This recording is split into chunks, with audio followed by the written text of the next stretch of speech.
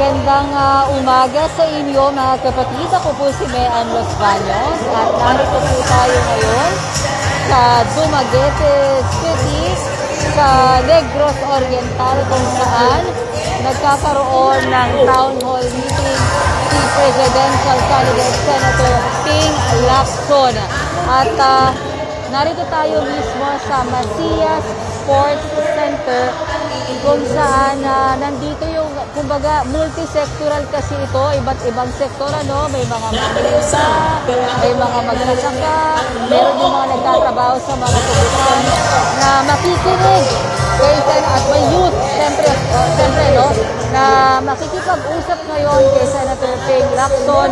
Ang alam naman natin ang strategiya ni Senator Ping sa kanyang pangampanya ay town hall meeting. Ayaw niya nung mga grand rallies. Gusto niya kasi nakakausap mismo yung mga tao at uh, narinig niya mismo yung tanong ng mga botante dito sa Dumaguete City. Mga kapatid, bago yung, uh, bago ito mismo na uh, town hall meeting dito, nanggaling kami sa munisipyo, sa City Hall, kung saan uh, nagkaroon ng uh, courtesy call o nag-courtesy visit ni Presidential Candidate uh, Ping Lacson kay uh, Mayor Remolyo. Tandaan lang natin si Mayor Remolyo ay uh, miyembro ng Liberal Party kaya ang sinusuportahan talaga niya ay Lenny Kiko Tandem. Pero ang sabi naman niya, matagal na niyang kaibigan ni Senator Ping Lacson at welcome siya mga kampanya dito sa Dumaguete City. Pagkatapos ito mga kapatid ay didiretso sila sa Bais, sa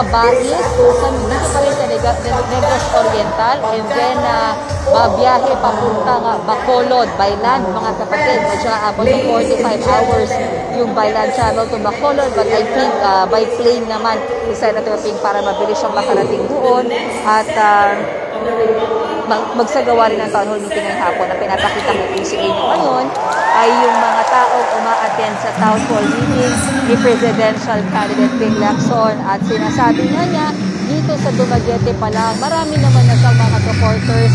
Kabilang na dyan yung kilalang Gaisano family na may-ari ng ilang malls sa at Mindanao at yung malaking pamilya, isa pang family na na kilalang uh, supporter niya dito sa Dumaguete dahil uh, sinig niya yung anak niya noong mga pamilyang na yun noong panahong siya pa ay uh, nagsisilbi bilang pulis. Kaya ang tanong uh, ni Senator uh, Ping Lacson, parang hindi naman daw totoo na zero siya sa Visayas at Mindanao. Ayon sa lumabas na Pulse Asia Survey dahil bakit naman daw ngayon dito pa lang sa Dumaguete marami nang dumadalo sa kanyang town hall meeting at kalangaraw niya marami siyang supporters dito kahit papano plus tutuhog pa siya sa ilang lugar sa Visayas ngayong araw at bukas naman sa Cotabato at sa Cagayan Oro.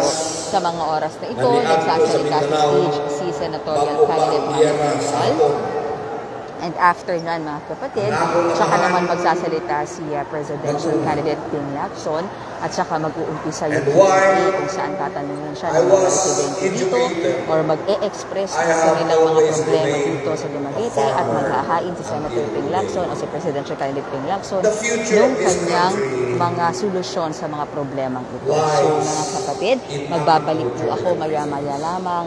Kung meron pa tayo mga updates but so far, ang sinasabi ni Senator Ping Lacson ngayon, mukhang hindi raw kapanipanniwala or parang pini-question niya yung pinakabagong Asia Survey kung saan napako na siya sa tutukin at na zero pa siya sa Visayas at Mindanao. Dahil gaya nga ng sabi ko, dito pa nga lang daw sa Dumaguete, ang claim ni Senator Pete Lacson, kung ganyan naman daw karami yung umatin sa kanyang town hall meeting, plus meron daw siyang siguradong mga pamilyang sumusuporta sa kanya dito, imposible daw na ma-zero siya dito sa Visayas at sa Mindanao. na babalikan din niya bukas.